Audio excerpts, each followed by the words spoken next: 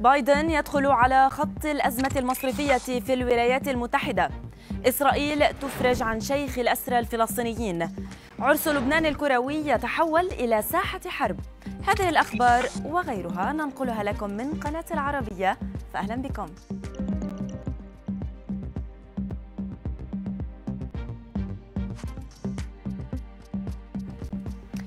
وسط حالة من الهلع من تكرار أزمة عام 2008 دخل الرئيس الأمريكي جو بايدن على خط أزمة المصارف في الولايات المتحدة الأمريكية متعهدا بمحاسبة الأشخاص المسؤولين عن إفلاس بنكي سيليكون فالي وسيجنتشر بانك.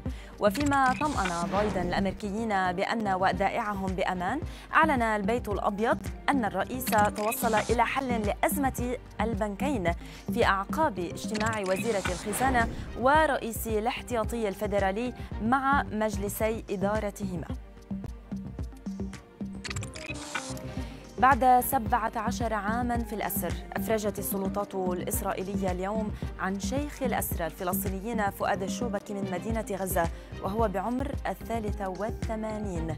الشوبكي كان يقبع في سجن عسقلان وطوال سنين اعتقاله اقترن اسمه بألقاب متعددة أبرزها شيخ الأسرى حيث كان المعتقل الأكبر سنا في السجون الإسرائيلية. وخلال 17 عاما في الأسر فقد الشوبكي زوجته عام 2011 كما تزوج أربعة من أبنائه الستة واليوم لديه تسعة أحفاد لم يرهم في حياته. في حدث كان يفترض أن يكون عرسا كرويا في لبنان تحولت مباراة كرة قدم مصيرية بين فريقي العهد والأنصار إلى معارك بين مشجعي الفريقين من جهة وبين مشجعي الأنصار وقوات الأمن من جهة أخرى. العرس تحول إلى ساحة حرب بعدما انطلقت هتافات طائفية وسياسية من مدرجات الفريقين.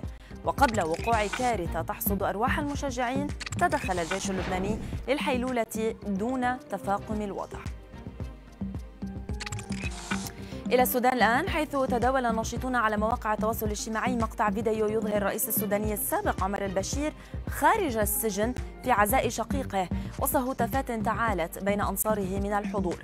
البشير تلقى العزاء في وفاة شقيقه بمنزل الأسرة الكائن بضاحية كافور شرق الخرطوم بحري بعد أن منحه قاضي المحكمة المختصة إذنا بذلك لمدة ساعتين فقط.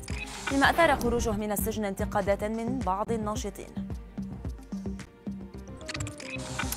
لقطات لافتة وغريبة بالجملة شهدها حفل توزيع جوائز الأوسكار هذا العام لكن أطرافها كان ظهور حمار حقيقي على منصة توزيع الجوائز التي يكرم عليها أبرز وألمع نجوم السينما. المذيع الساخر جيمي كيمل فاجأ الجميع بإحضاره حمارا على خشبة المسرح أثناء تقديم الحفل مشيرا إلى أن الحمار ويدعى جني بالمناسبة هو الذي شارك في فيلم The Banshees of Inisherin